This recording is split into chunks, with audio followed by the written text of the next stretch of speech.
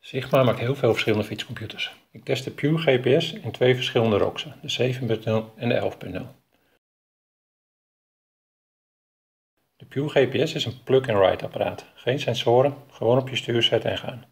Instellingen kun je wijzigen via het Sigma Datacenter of deze link hebt met NFC. Dat laatste alleen als je Android gebruikt trouwens.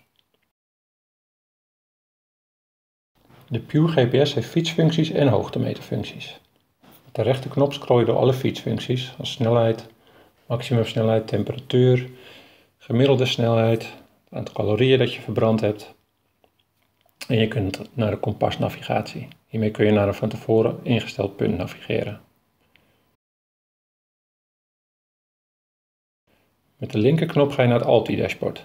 Hierbij zie je de actuele hoogte, stijgingspercentage, hoeveel hoogtemeters je gemaakt hebt, maximale hoogte die je bereikt hebt en een hoogteprofiel.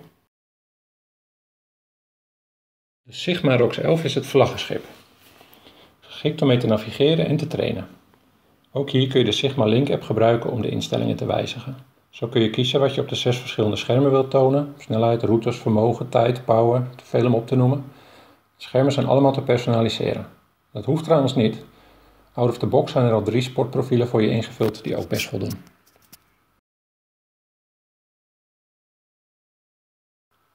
Je kunt ook routes op de ROC zetten via je telefoon of met het Sigma Data Center desktop software.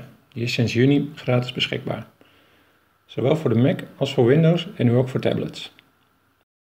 Na een rit kun je die delen met Strava, TrainingsPeaks, Facebook of Twitter en je kunt ritdata importeren via de app. Die zet vervolgens alles door naar de Sigma Cloud, waarna je in het datacenter een heleboel waardevolle trainingsinfo tot je beschikking hebt.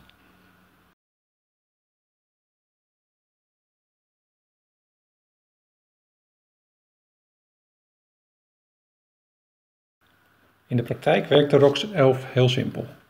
Met vier knoppen kun je alle opties bedienen en door alle zes schermen scrollen.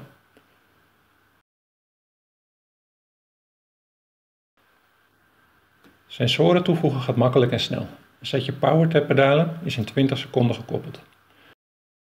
En ook een elektronische schakelgroep kun je aan de ROX 11 koppelen. Dat is gelijk het verschil met de ROX 7, die werkt zonder sensoren en is dus niet zo geschikt als trainingscomputer.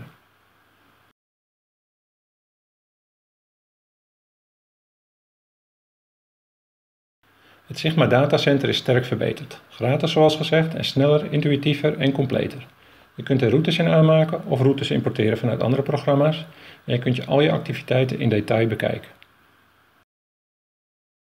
En ook vanuit deze software is weer mogelijk om je fietsritten te delen met al je volgers.